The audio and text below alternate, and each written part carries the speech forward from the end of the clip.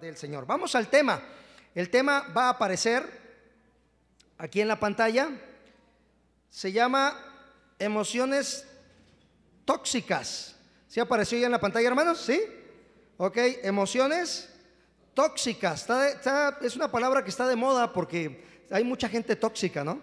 ¿Verdad? Este, dicen algunos, déjame habla el tóxico, ¿no? Y le contestan el teléfono, le contestan la llamada, ¿no? Bromeando y todo aquello, pero es una palabra que está muy de moda y resulta que está en la Biblia, hermanos. Bueno, no la palabra tóxico como tal, pero el concepto sí está en la Biblia porque de verdad que hay personas que hacen daño. Eso significa tóxico algo que te hace daño. ¿verdad? Te comes algo tóxico, enferma tu estómago, enferma tu organismo. Te juntas con alguien tóxico y comienzas a enfermarte poco a poco tú también. Ahora vamos a la primera advertencia de la Biblia. Hay varias advertencias que vamos a ver en esta mañana. Hermanos, la primera aparece en el Salmo 37.8, que quiero que me ayuden a buscarlo en la, en la, Biblia, en la Santa Biblia. Somos el pueblo del libro. A ver, levanten su mano todos los que traen una Biblia así, en vivo y a todo color. Levántenla así fuerte, ¿verdad?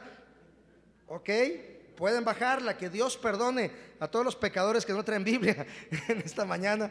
Pero bueno, somos el pueblo del libro, hermanos, somos el pueblo del libro. Yo sé que la Biblia la traen en teléfono, ya viene digital, ya viene ahí, pero siempre es importante eh, eh, tener algo que tocar, ¿verdad? Algo que, que ojear. ¿verdad? Este, los libros digitales no saben igual que los libros en vivo y a todo color. Lo mismo pasa con la Biblia. Ok, Salmo 37, 8. ¿Ya llegaron ahí, hermanos? Vamos a leerlo, por favor, hermanos. ¿Qué dice? Deja la ira y desecha el enojo. No te excites en manera alguna a hacer lo malo. Lo volvemos a leer ahora, pero con más fuerza, hermanos, con más enjundia, que se escuche, ¿verdad? Hasta los que están eh, este, escuchando el video ahí en, casita a través del canal de YouTube y los que están conectados a través de la plataforma. Vamos a leerlo fuerte, que llegue hasta los hogares. Hermanos, ¿qué dice? Salmo 37, 8, ¿qué dice, hermanos? Deja la ira y desecha el enojo. No te excites en manera alguna ¿A qué nos invita la Biblia, hermanos, en esta mañana? ¿Qué tenemos que dejar? La ira y el enojo. Bueno, Florence Scovel, un escritor, dijo lo siguiente. La ira altera la visión, envenena la sangre, es causa de enfermedades y de decisiones que conducen al desastre.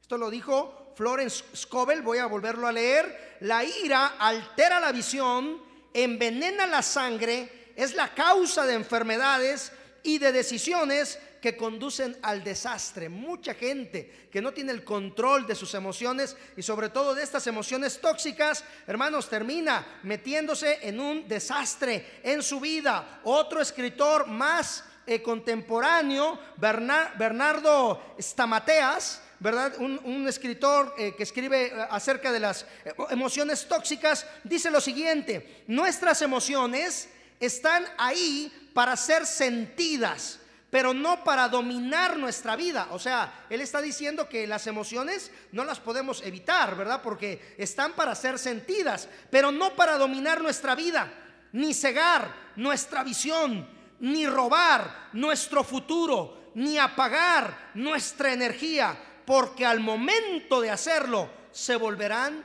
tóxicas.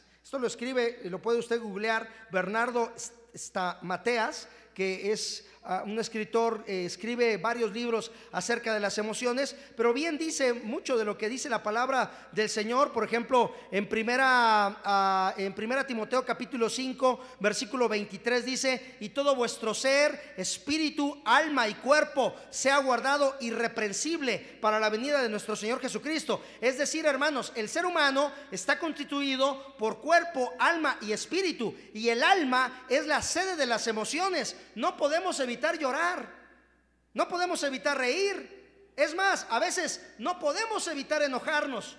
Nos enojamos con las injusticias de la vida y eso es correcto. Cristo también se enojó. Está en la Biblia, hermano, está en la palabra, está en Mateo. Cristo en un día de cólera arremete en contra de los cambistas que estaban ahí adentro del templo. ¿Qué pasa, hermanos? De alguna forma, lo que, lo que está advirtiéndonos la palabra del Señor cuando dice, deja la ira y desecha el enojo, te está diciendo, no pierdas el control de tus emociones. Por ejemplo, otro antiguo filósofo llamado Descartes, los que están en la prepa y en la universidad seguramente lo han escuchado eh, este, en alguna de sus clases, Descartes mencionaba su máxima, cogito ero sum, cogito ero sum. En su traducción dice, pienso, luego soy, pienso, luego existo. Pero el asunto es que nosotros a veces no pensamos, sino que somos, ¿no?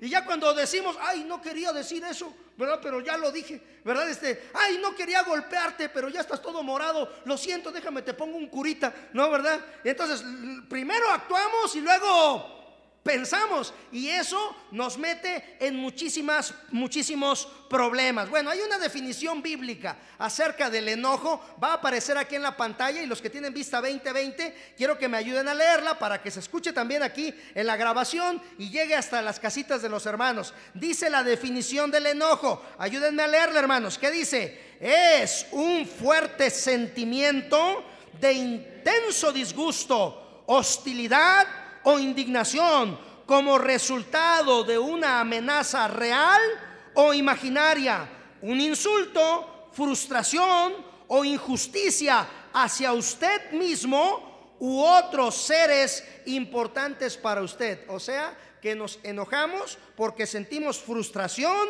insultos o injusticias hacia nosotros o, hacia la gente que amamos. Eso es el significado bíblico de la, del asunto del enojo. Ahora, a la Biblia nos trae algunas advertencias en esta mañana. La primera la encontramos en Efesios 4, 26 y 27. Los que lleguen ahí rápido, los que no puedan llegar, vamos a leerlo, hermanos, por favor. Efesios 4, 26 y 27.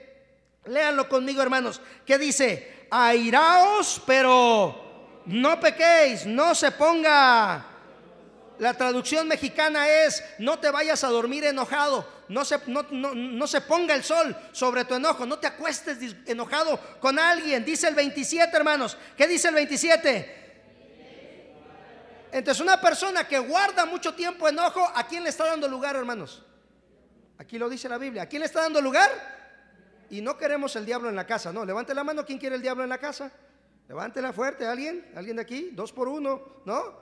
Claro que no, ¿verdad? No queremos a Satanás metido en la casa, ni en la familia, ni nada. Nosotros lo, lo introducimos al hogar en el momento en que nosotros mismos, amados hermanos, estamos eh, de alguna forma permitiendo el enojo exagerado. La Biblia nos advierte que nos metemos en problemas. En Jonás capítulo 4, Antiguo Testamento, hermanos, Jonás capítulo 4, encontramos que grandes personajes de la Biblia tuvieron problemas con el enojo. Así que no estoy justificando el enojo de usted en esta mañana. Si usted es una persona proclive a enojarse, no lo estoy justificando, pero hermanos, si necesitamos entender de parte del Señor que trae consecuencias el enojo. Jonás capítulo 4 dice el versículo 3, ahora pues, oh Jehová, te ruego que me quites la vida, porque mejor me es la muerte que la vida. Ahora, versículo 4, hermanos, fuerte que se escuche, ¿qué dice? Y Jehová le dijo, haces tú bien. O sea, si tuviéramos a Dios en esta mañana enfrente de nosotros, ¿saben qué nos preguntaría? ¿Haces tú bien en enojarte tanto? Porque Jonás se enojó y se enojó hasta que, hermanos, hasta la muerte. Prefiero morir, me dijo. Y solo por una calabacera que le topaba, porque era un, ya ven que todos los, este, los, ¿cómo se llaman? Los profetas del Antiguo Testamento eran como de mi tamaño, eran chaparritos, gorditos, más o menos panzoncines y pelones, calvos, ¿verdad? Peloncitos, a mí nada más me falta la pelona, ¿verdad? Pero ya los chaparritos y los gorditos. Entonces sale una calabacera donde el sol le quemaba a Jonás un tanto el, su, cuero cabelludo y entonces le daba paz la sombra de la calabacera. Entonces de repente la calabacera se seca y se enoja, ¿verdad? Dice, ¿por qué se secó la calabacera? Me enojo, me enojo hasta la muerte. Era una planta, era una calabacera. Bien se pudo haber ido a comprar una sombrilla a Walmart, ¿no? Bueno, no había Walmart en aquel tiempo, pero bien pudo haber, este, ¿cómo se llama? Encargado alguna planta para o buscar otro arbolito en donde agarrar sombra. No, él prefirió enojarse y se enoja hasta la muerte. Hay gente que se enoja y dice, no me quiero enojar, mujer. Pasa en las novelas y pasa en la vida real.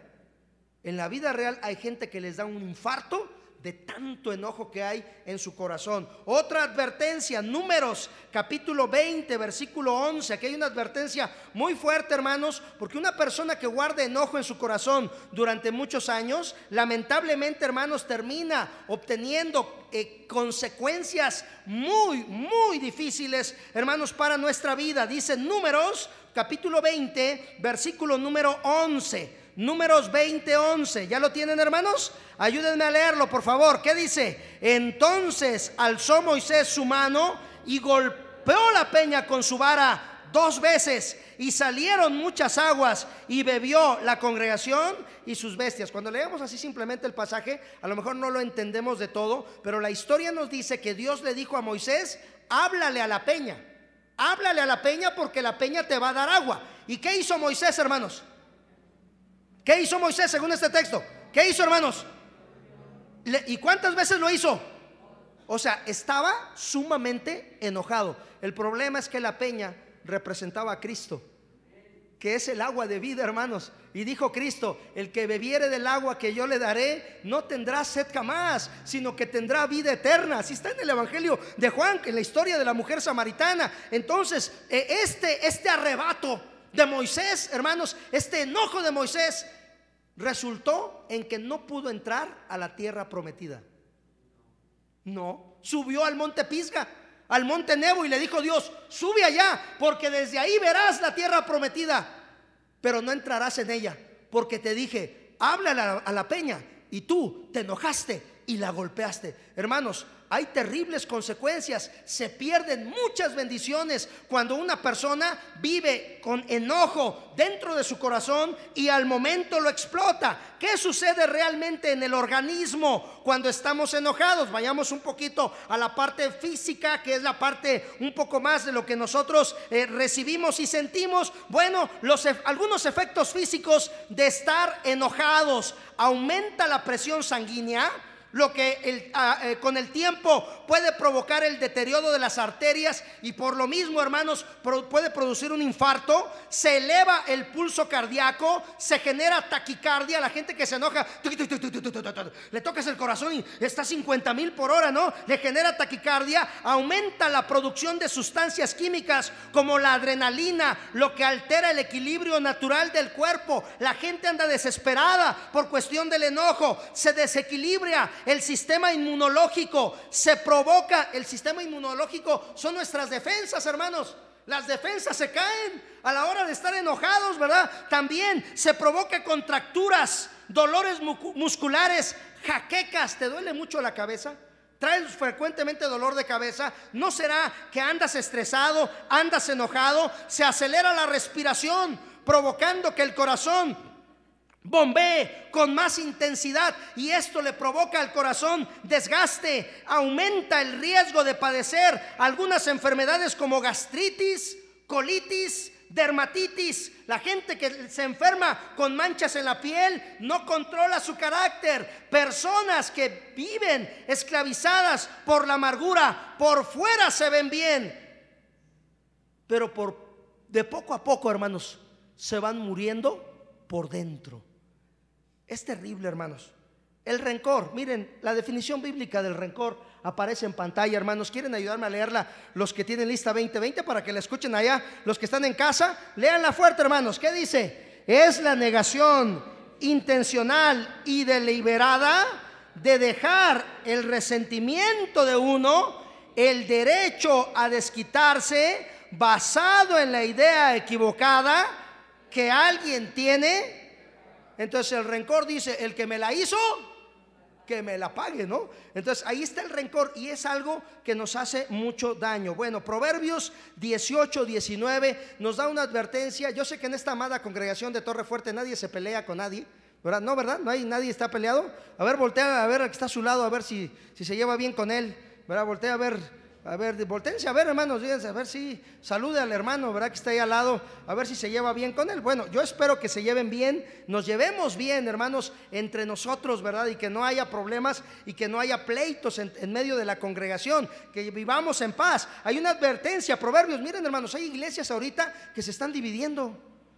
Hay iglesias que se están dividiendo. Hay iglesias que entra la familia Guzmán. Si alguien se apellida Guzmán en esta mañana, perdóneme, ¿eh? pero entra, ¿verdad? Entra la familia, ¿verdad? Y entran todos así y voltean a ver a la familia. Es que estoy buscando un apellido que no sea tan común, ¿verdad? Chicoachea, ¿no?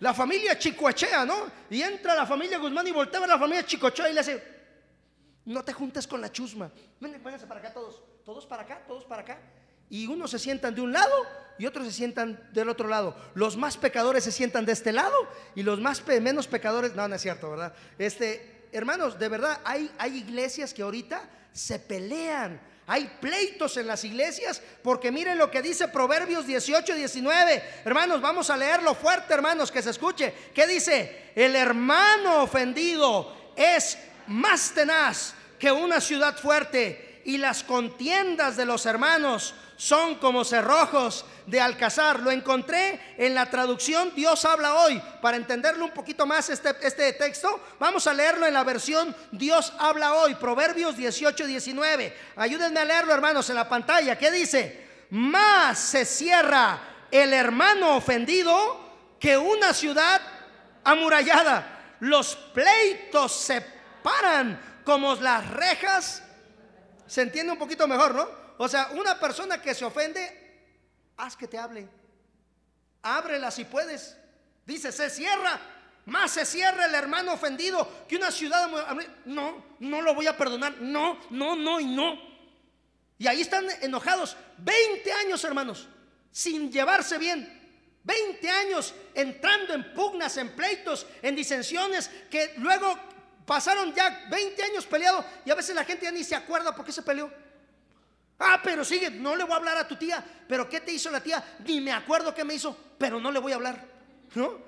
O sea, la gente vive cerrada, dice, más se cierra el hermano ofendido y los pleitos se paran como las rejas de un palacio, hermanos. La Biblia nos habla entonces que lo único que hace el rencor es causar daño, tiene un efecto dañino en nuestra vida. El rencor es separador, es destructivo, es esclavizante. En Hebreos capítulo 12, versículo 15, hermanos, quiero que me ayuden a leerlo porque estos pasajes, hermanos, son de advertencia en esta mañana, si alguien trae rencor en su corazón con su hermano, con su primo, con su cuñado, con su amigo, con su marido, con su ex marido, con su ex mujer, con su hijo, con su hija, con la tía, con el hermano, con un pastor, con quien sea que usted esté enojado. Miren lo que dice Hebreos capítulo 12, versículo 15. Ayúdenme a leerlo, hermanos, por favor. ¿Qué dice? mirad bien, no sea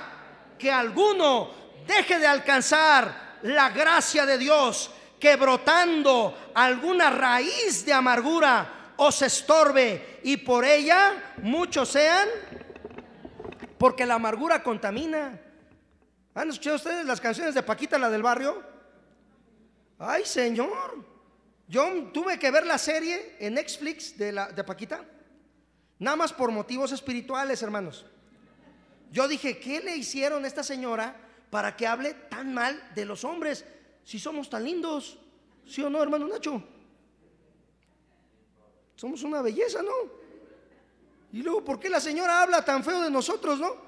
Entonces dije, yo voy a ver la serie para ver qué le hicieron a la pobre. ¿Y saben qué? Cuando la vi dije, entiendo perfectamente todo el rencor que hay en su corazón. Lo entiendo pero la Biblia dice que ese rencor hace muchísimo daño. Dice aquí, no sea que dejemos de alcanzar la gracia de Dios por causa del, rencor y del, del, enojo. Hermanos, el rencor y el enojo hacen que las ventanas de los cielos se cierren no hay gracia de Dios, no hay bendición, hermanos. Cuando hay amargura en el corazón, o tienes la, la venia de Dios y la gracia de Dios y la bendición de Dios, o tienes, repito, como hace rato dice la Biblia, no deis lugar al diablo, o tienes al diablo metido en la casa, o tienes el rencor metido en la casa. No tienes, no puedes tener las dos cosas.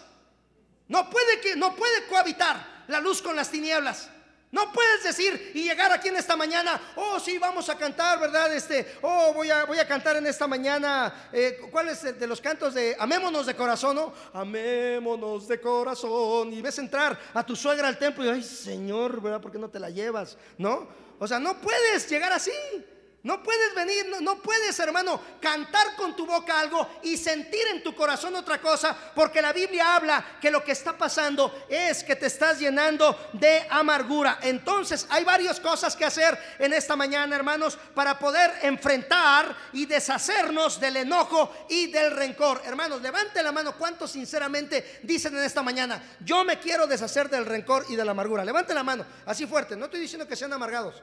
Estoy diciendo que siempre hay cosas en el corazón que tenemos que echar para afuera. Pueden bajar su mano, hermanos. Gracias por su sinceridad y honestidad. Efesios 4:32, hermanos. Vamos hacia la, parte fundamentada en la palabra, en donde la Biblia nos dice qué tenemos que hacer para salir adelante. Efesios 4:32. Ayúdenme a leerlo, hermanos, por favor. ¿Qué dice? Antes sed benignos misericordiosos, ¿qué más?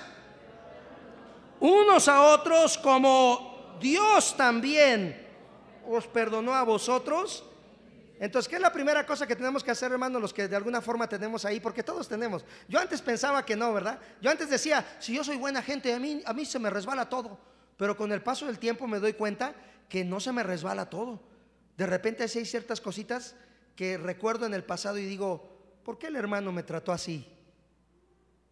¿Por qué este pastor me habló así? ¿Por qué? ¿Por qué este hermano? Una vez se acercó una hermana y me dijo, ¿verdad? Este, bien enojada, ¿verdad? ¿Usted es el pastor Héctor? Y yo, sí. ¿Qué pasó? Tiene tres meses que le dijo el pastor que pusiera música a la hora del evento de matrimonios y usted no pone nada.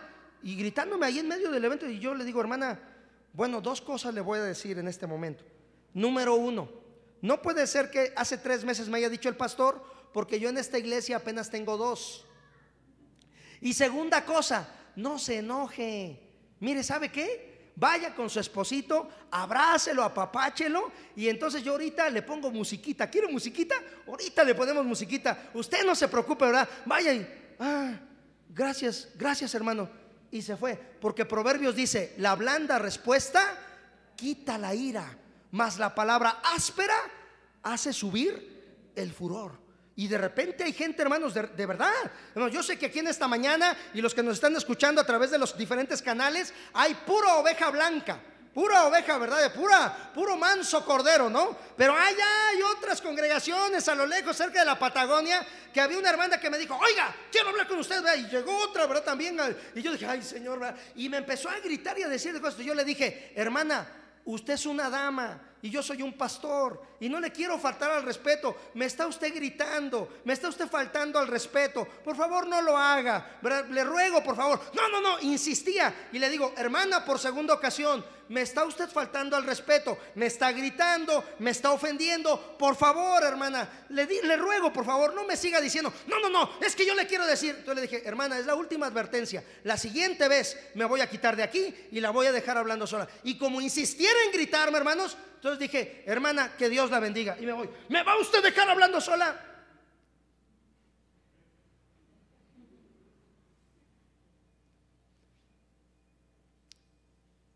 de repente, si hay personas alrededor de nosotros que no ponen la cosa tan fácil, si nos enerva la sangre, puede ser tu marido, que cuando llega a la casa dice, puede ser tu esposa, puede ser uno de tus hijos, puede ser un tío, que no te hace la cosa fácil. Por eso el texto dice, antes sed benignos con otros. ¿Cómo tenemos que hacer con los demás? Hermanos, según la ley de Cristo, ¿cómo hermanos? Benignos, buenos. No, pero es que me psicopatearon. Sí, pero no devuelvas mal por mal, ni maldición por maldición. Antes dice la Biblia, bendecid, bendecid. Y entonces, hermanos, comenzamos a aprender a perdonar. ¿Por qué no en esta mañana se hace usted el intento de aprender a perdonar al que le hizo daño. Aprenda, vamos a aprenderlo hermanos en esta mañana. ¿Qué más tenemos que hacer? Bueno, eh, aparece aquí en pantalla primera de Juan 1.9, ¿verdad? ¿Quieren ayudarme a leerlo hermanos, por favor? Primera de Juan 1.9, se lo saben de memoria algunos. ¿Qué dice? Si confesamos nuestros pecados, Él es fiel y justo para perdonar nuestros pecados y limpiarnos de toda maldad. ¿Qué tiene que hacer una persona? Confesar que está enojada. Entonces, en esta mañana yo sé que algunos no levantaron la mano, ¿verdad? Pero yo les invito a todos que confesemos y que digamos, sí, sí estoy enojada. Confesemos. Confesar es la palabra griega homologeo. Para los griegos es me pongo de acuerdo con Dios en lo que está bien y en lo que está mal. Eso es homologeo. Confieso, le digo a Dios, sí, Señor, estoy está mal que yo esté enojado. Y entonces cuando confiesas el, el enojo, decides entregarlo entregas el rencor, entregas la amargura, entregas el enojo. Eclesiastés capítulo 7, versículo 9, Antiguo Testamento, hermanos, Eclesiastés 7, 9. Vamos a leerlo en esta mañana, por favor, hermanos. Estamos hacia el final del tema en esta mañana, hermanos. Y es cuando la congregación tiene que decir, Amén, ¿verdad? Amén. Eclesiastés 7, 9, hermanos. Vamos a leerlo fuerte, que se escuche, hermanos. ¿Qué dice? No te apresures en tu espíritu a enojarte, porque el enojo reposa. ¿En dónde, hermano, reposa el enojo?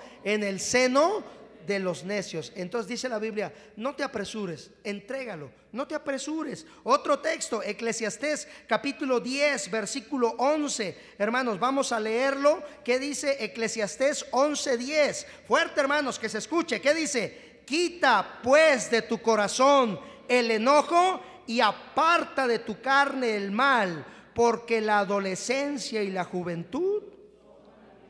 Entonces, ¿cuántos años más piensas estar cargando con el enojo de tu corazón? ¿Cuántos años vas a dejar de mirar a la gente que te hizo mal? ¿Cuántos años? Ahora, tú puedes decir en esta mañana, pastor, pero es que yo no tengo la fuerza. No tengo la fuerza porque me siento débil. La Biblia dice que el único que te puede dar la fuerza para perdonar es nuestro Señor. Porque una de las frases de Cristo en la cruz, cuando le estaban crucificando, hermanos, no estaban hablando mal de él, lo estaban clavando en una cruz, le, le, asestaron una corona de espinas, esas espinas sirias que eran de las más dolorosas de aquel tiempo, le arrancaban la barba y lo cacheteaban y le decían, adivina Cristo, ¿quién te pegó? Lo clavaron en una cruz junto a dos ladrones. Hermanos, y una de las frases más contundentes de Cristo, a pesar de todo el daño que le hicieron, fue esta. Señor, perdónalos, porque no saben lo que hacen. ¿De dónde viene la fuerza para que tú puedas perdonar? Yo sé que a ti no te han crucificado, no te han golpeado tal cual golpearon a Cristo, pero si hay gente que te ha hecho daño. ¿De dónde sacas la fuerza para perdonar al que te hizo daño? Del cielo, de Dios. Cuando te llenas del amor de Dios, tienes la capacidad de pasar por alto cualquier daño que te hayan hecho. Y cuando te empiezas a llenar del amor de Dios, el rencor, la amargura, el enojo, el odio y todo eso que nos hace tanto daño, según acabamos de leer, hermanos, tienen que ir para afuera. Amén, hermanos. Tienen que ir para afuera. Así que yo te invito en esta mañana a que te llenes de la presencia de Dios. Si no has recibido a Cristo como tu Salvador, que abras tu corazón a Jesús hoy y le entregues por fe tu corazón a Cristo Jesús. Vamos a ponernos en pie, hermanos, vamos a orar en esta, en esta mañana. Hagamos una oración, hermanos, y ahí, en su lugar, con los ojos cerrados, por favor, hermanos, ojalá que nadie entre y salga en este momento. Aguantemos estos próximos tres minutos en donde quiero invitar a la iglesia a que hagamos una limpieza en el alma de todas estas emociones tóxicas que hacen daño, que te están dañando, que dañan tus relaciones, que te enferman físicamente, que las bendiciones de Dios no llegan, porque Dios no te escucha si estás enojado con alguien. Hay tanto daño en el enojo y en el rencor que yo sí quiero entregarlo a Jesús en esta, en esta mañana. Así que si tú quieres entregar tu enojo y quieres limpiar tu corazón, lo primero que tienes que hacer hoy es abrirle tu corazón a Cristo Jesús. Así que haz esta oración ahí en el lugar donde estás, sin decir palabra, en tu mente y en tu corazón, habla con Dios y dile, dile a Jesús, dile, Señor Jesús, en esta mañana te pido perdón por todo lo malo, Señor, que he hecho. Tú me conoces, Señor. Sabes cuántas cosas traigo en mi corazón, pero hoy quiero que me limpies. Quiero limpiar mi alma, quiero limpiar mi corazón. Ayúdame, Señor. Y Padre, perdóname todos mis pecados. Y hoy quiero pedirte, Señor Jesucristo, que entres a mi corazón. Sálvame, Señor. Regálame la vida eterna.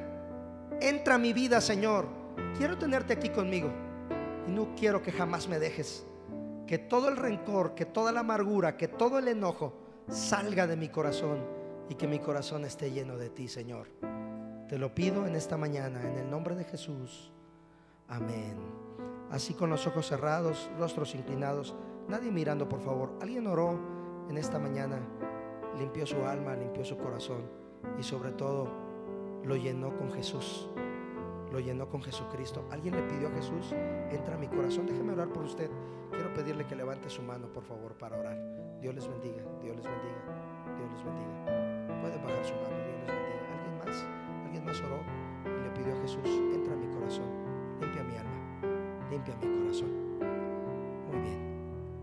Vamos a terminar en oración. Padre, gracias por tu palabra. Gracias, Señor, porque sin duda nos hace reflexionar de los efectos del enojo en donde todos batallamos con ese pecado. Pero hoy te pedimos, Señor, que nos cambies, que limpies nuestra vida y limpies nuestro corazón de todo lo malo, Señor. Estamos en tus manos, Señor, y queremos pedirte y agradecerte todo en el nombre de Cristo Jesús. Amén. Pueden tomar sus lugares, amados hermanos. Muchas gracias.